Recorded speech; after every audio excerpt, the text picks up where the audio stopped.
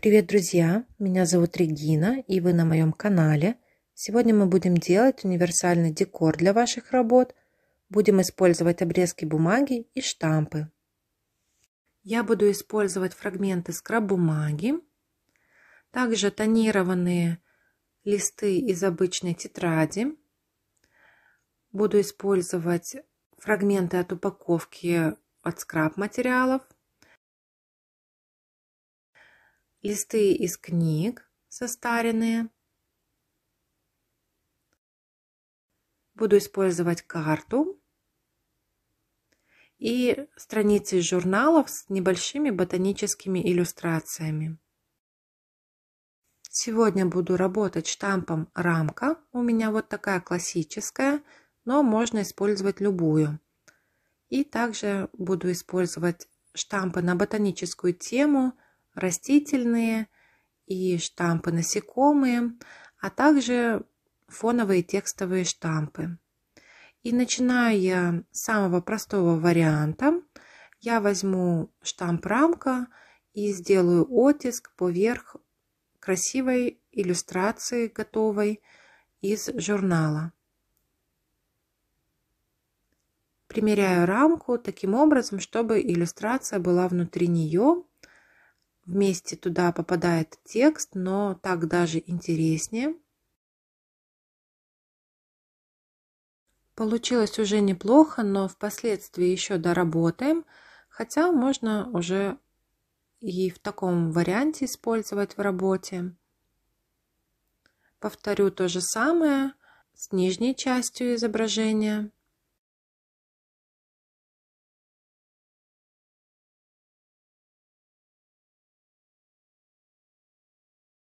Не обязательно использовать ее горизонтально, эту рамку. Можно сделать оттиск вертикально, как, например, сейчас. Здесь растение полностью влезет в эту рамку.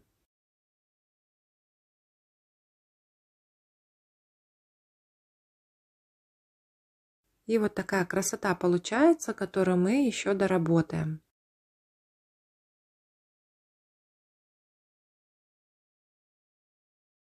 Повторю то же самое на этой странице. Здесь я сделаю две рамки рядом друг с другом. И самое главное, не делать оттиски слишком близко, чтобы впоследствии было комфортно и удобно вырезать.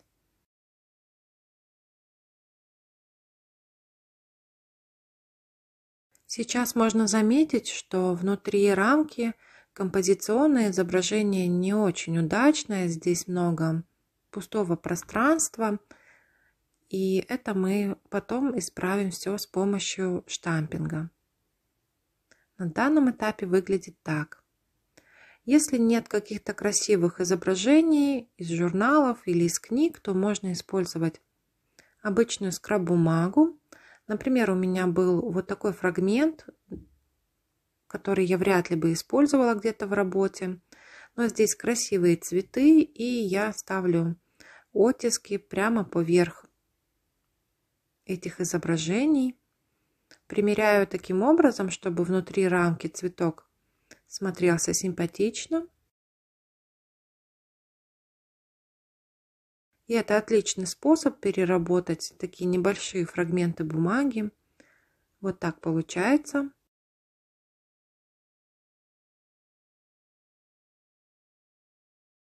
За кадром я сделала рамки на фоновых листах, на листах из книги. И вот здесь, обратите внимание, слишком близко поставила я оттиски.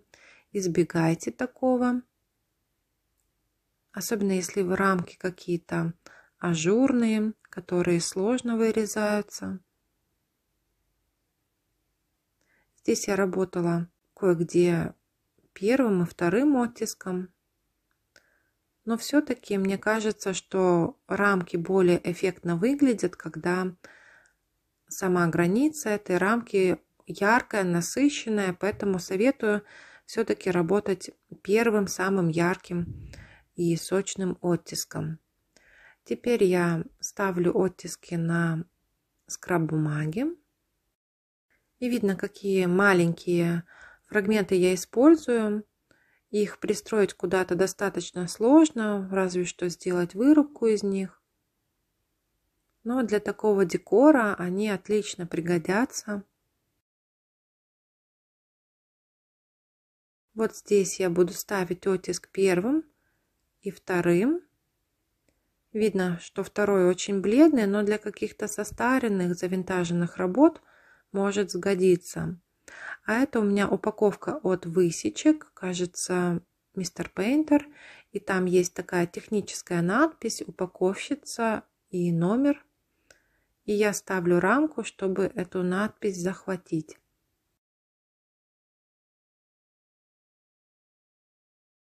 Здесь у меня немного не пропечатается рамка, но я думаю, что это можно будет обыграть. И также использую ее в работе.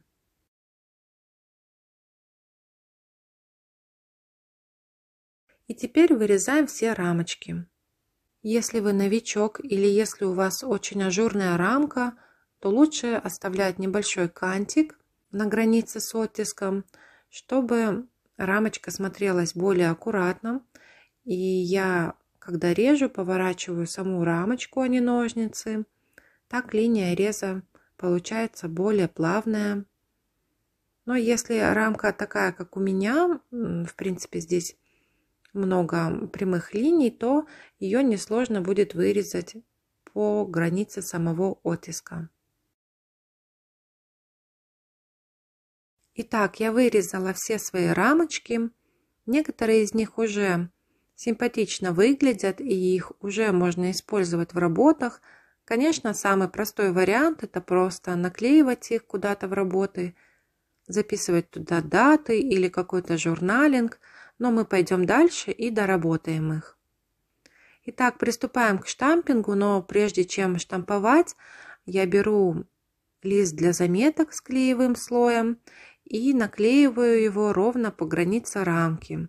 Это необходимо для того, чтобы, когда мы будем делать оттиски внутри рамки, чтобы они не заходили на сами границы рамок. Так наши декоративные элементы будут более аккуратными. И я выбираю растение, которое буду штамповать, и делаю оттиск. И теперь видно, что Лишний оттиск, он пропечатывается на стикере, а на рамке чернил нет, и она выглядит очень аккуратно. Повторю то же самое с другой стороны, и здесь нужно не торопиться, аккуратно наклеить, чтобы стикеры были четко по границе рамки. Добавлю немного фонового текста, и в принципе рамка готова. Очень быстро и просто мы сделали такой декоративный элемент.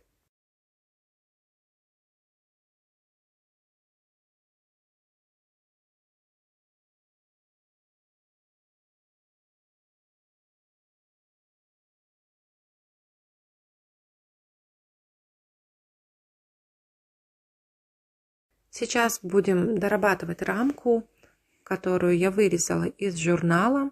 Штампинг добавит этой рамочке глубины, объема, какой-то живости. И в целом, мне кажется, облагородит ее, сделает ее более сложной, более интересной. Здесь уже есть центральный главный элемент, это растение, поэтому я буду добавлять только акценты. Такое маленькое насекомое добавлю фрагментарно. И небольшую цифру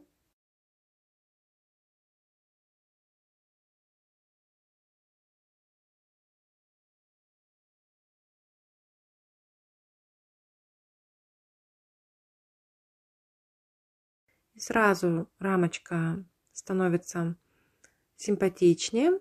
Хочу добавить еще акцент на такую печать. Она у меня с первого раза не пропечаталась, но я считаю, что такие непропечатанные печати выглядят довольно натурально. Поэтому не расстраиваюсь и поставила просто сверху второй оттиск. Вот такая рамочка получилась. Как будто бы страничка из какого-то справочника. Итак, продолжаем. Теперь возьмем рамочку, которую мы вырезали из скраб бумаги и тоже слегка ее доработаем. Я возьму фоновый текст и добавлю фонового текста для того, чтобы изображение было более объемным, более интересным.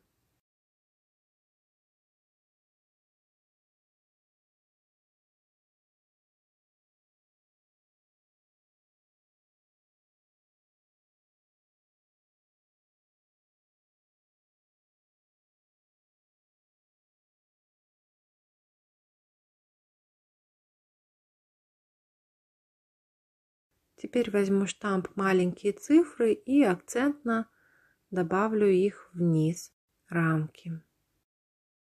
Я специально использую только одну рамку в своей работе для того, чтобы показать вам вариативность. Но, конечно, по такому принципу можно работать с любой рамочкой.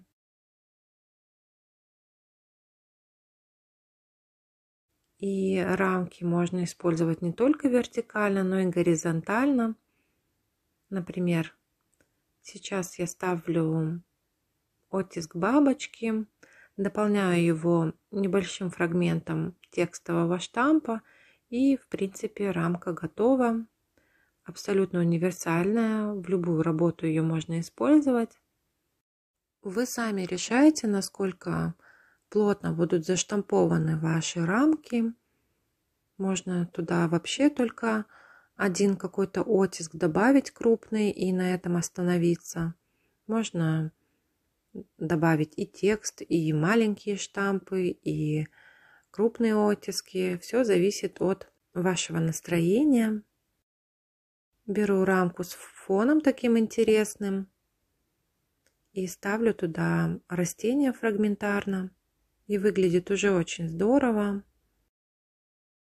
В целом, сам рецепт таких рамок, такого декора, это какой-то крупный оттиск, главный оттиск, в моем случае это растение, и затем к нему добавляем какой-то маленький оттиск в виде акцента. По желанию можно добавить фон. Например, на эту рамку фон уже необходимости нет делать, потому что здесь и так такой насыщенный интересный фон. А если на рамке фон не активный, то можно добавить немного текста, к примеру.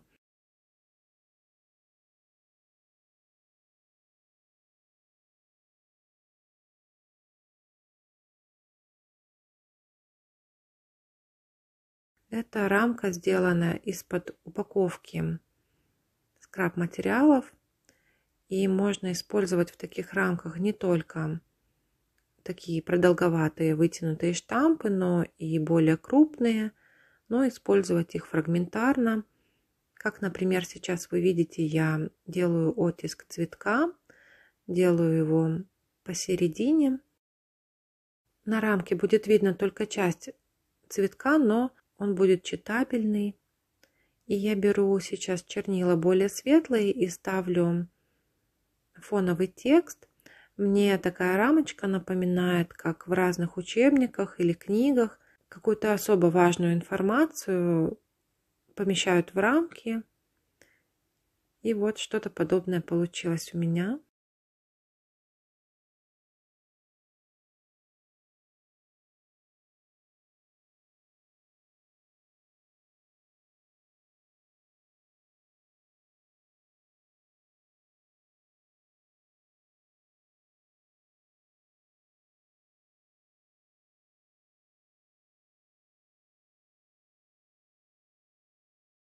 Сейчас возьму рамку из журнала, которая не очень удачная по композиции, и немножко исправлю это с помощью штампинга.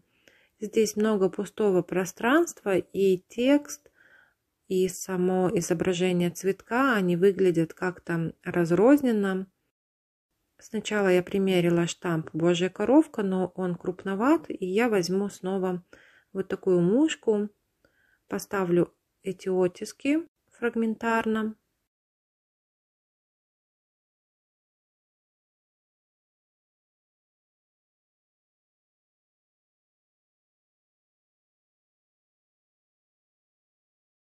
А чтобы заполнить пустое пространство и как бы соединить все элементы, я возьму фоновый текст Фоновый текст э, – отличное решение в данном случае, поскольку он не несет какой-то отдельной смысловой нагрузки, но соединит все элементы между собой.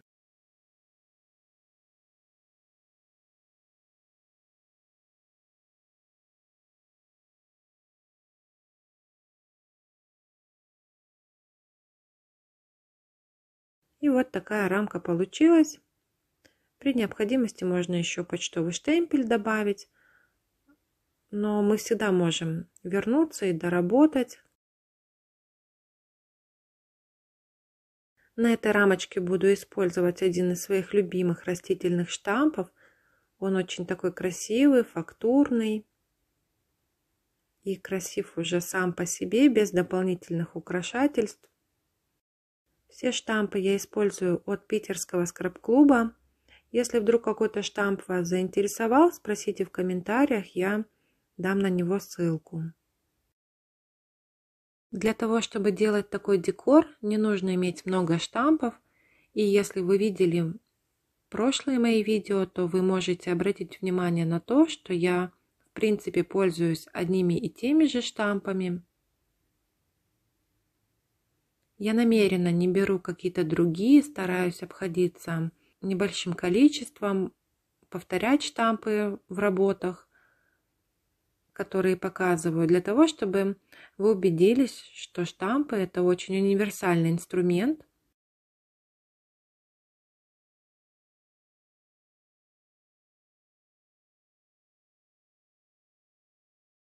Здесь я совершила небольшую ошибку.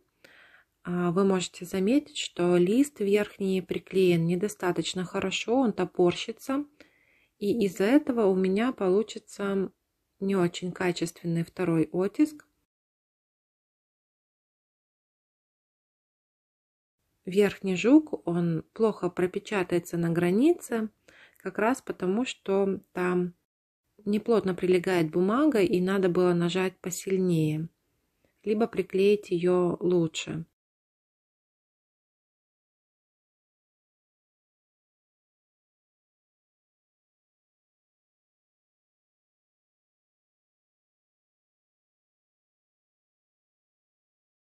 Но я думаю, что можно будет это место затонировать посильнее и сделать такую рамочку с налетом состаренности, как будто бы там изображение уже выцвело. В общем, думаю, что эту ошибку можно исправить. Снова добавляю фоновый текст светлыми чернилами, акцент на цифры. Использую похожие штампы, но все равно все рамочки разные, не похожи друг на друга.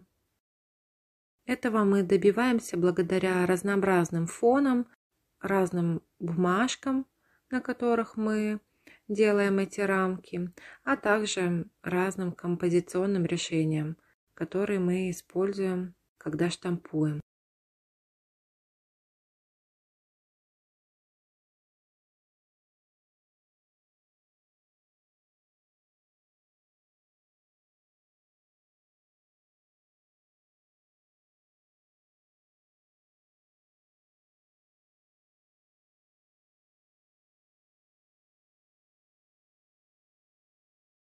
И вот здесь я захотела доработать рамку, вернулась к ней и поставила оттиск. Это очень классно, когда в процессе можно что-то еще доработать.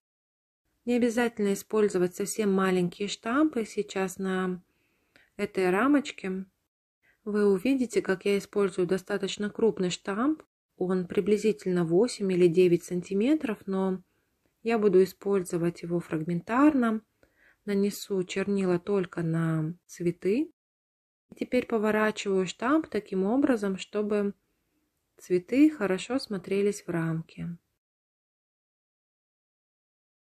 Делаю оттиск и все лишнее отпечатывается на листах для заметок. Я достаточно плотно заштамповываю все пространство, потому что мне нравится такой стиль но вам не обязательно использовать много штампов.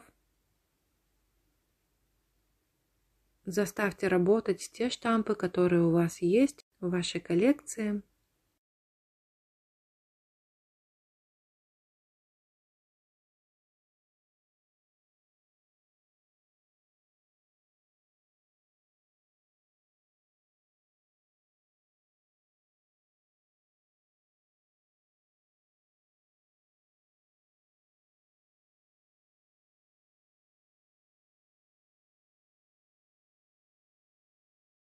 Сейчас возьму штамп с цифрами и нанесу чернила только на одну цифру и поставлю такой маленький оттиск.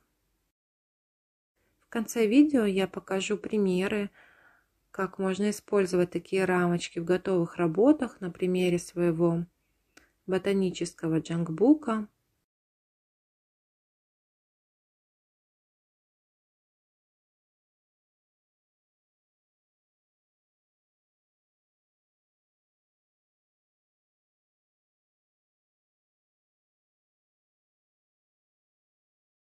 Эта рамочка получилась очень классно, мне она очень нравится, хотя здесь всего два оттиска. Сама рамка и оттиск растения. И это отличный пример того, что не нужно иметь много штампов, чтобы сделать красивый декор. Однако самое важное, чтобы этот главный оттиск был хорошо пропечатанный, качественный, Если вам интересно, как делать такие рамки другой формы, овальные, круглые, то напишите в комментариях, и я сниму такое видео. А также у меня есть несколько видео на тему, как делать декор из обрезков и штампов. Сейчас ссылка появится в правом верхнем углу. И если вы его не видели, то я рекомендую вам после того, как вы досмотрите это видео, ознакомиться с ним.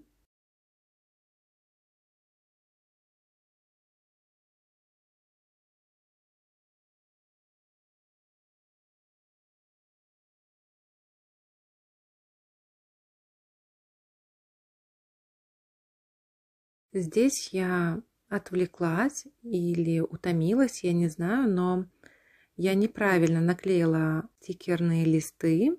Надо было их наклеить по длинной стороне. Я почему-то наклеила по короткой, но здесь э, вы можете посмотреть, как я делаю фрагментарно оттиск клевера. И получилось очень красиво, только листочки клевера. Ну, конечно, если бы я правильно наклеила маску, было бы еще лучше. И дополняю эту рамочку фоновым текстом. И в целом эта рамочка получилась очень здорово. Мне она очень нравится, потому что здесь сразу и не разберешь, где штампинг, где типографский текст. Получилось очень так сложно.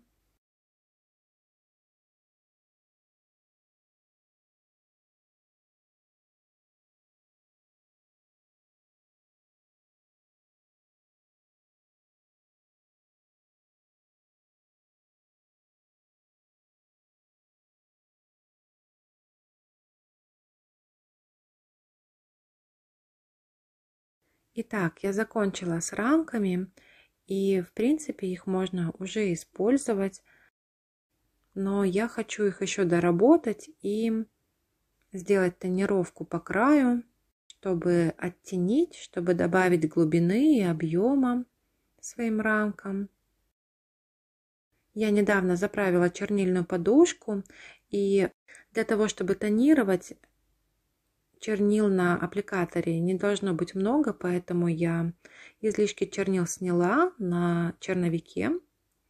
И если вы не видели видео, как я заправляю чернильные подушки, то я сейчас прикреплю ссылку в правый верхний угол.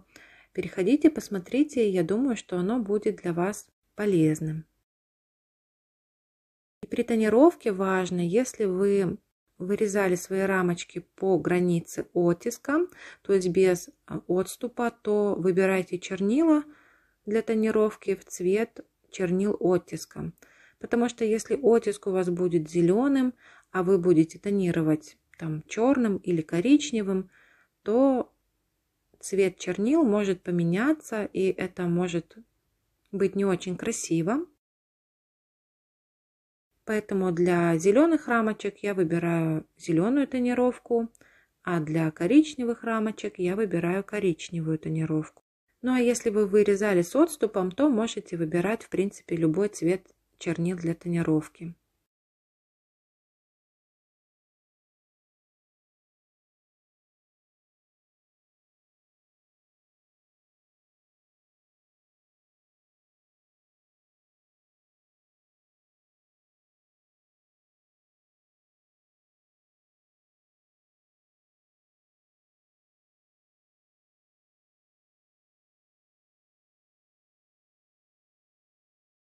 Итак, готовый результат.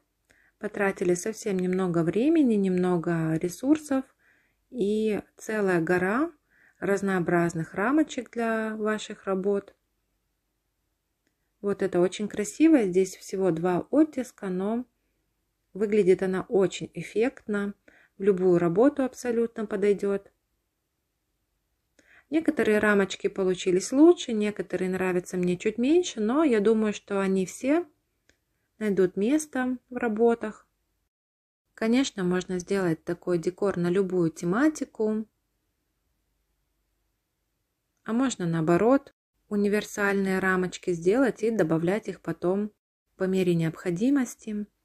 И с таким декором, который вы сделаете своими руками, работать гораздо приятнее. Это сильнее вдохновляет на творчество. Конечно, это отличный способ утилизации маленьких обрезков бумаги. И такой декор очень экономичный.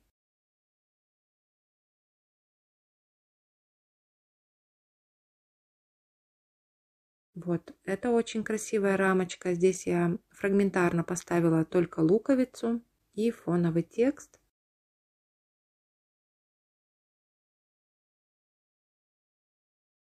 Классно смотрятся рамки из журнала. И вот мы использовали не так много штампов, мы использовали всего одну рамку.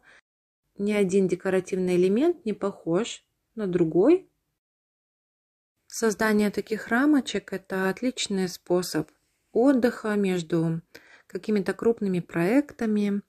Просто поштамповать в удовольствие, но и провести как бы с пользой время – заготовить декор на будущие работы, такие скраб-заготовки сделать.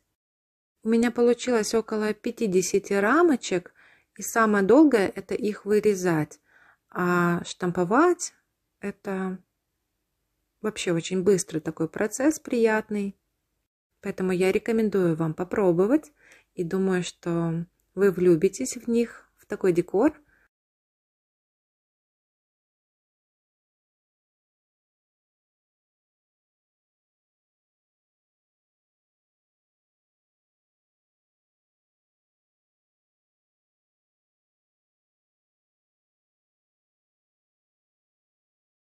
И теперь покажу на примере своего блокнота. Конечно, можно использовать такие рамки на обложке для декора. Отлично подойдет для того, чтобы использовать такие рамочки внутри блокнотов, внутри джанков.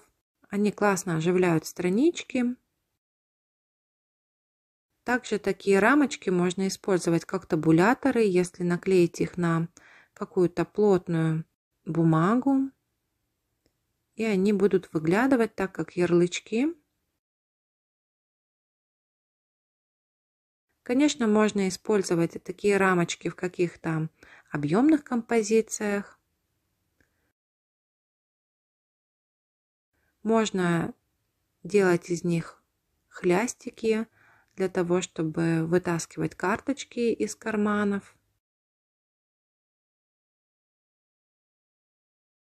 Конечно, можно использовать такие рамочки в штамповых композициях и наклеивать их на разные карманы, конверты, пакетики.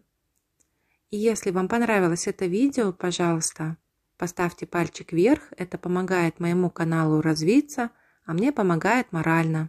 До встречи в следующих видео.